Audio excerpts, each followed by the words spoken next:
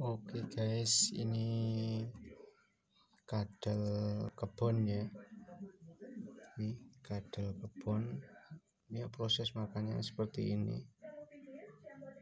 Untuk settingan kandang bisa pakai gig aja bisa ya.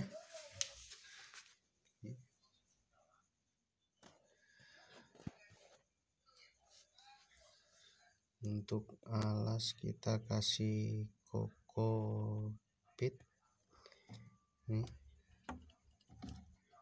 jadi untuk alas sendiri bisa lembab ya.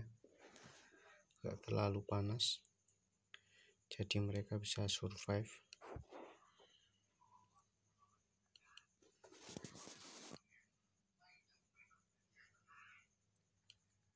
Makanya jangkrik aja cukup nih. Tahap sekali nih ya Gini proses makannya kadal.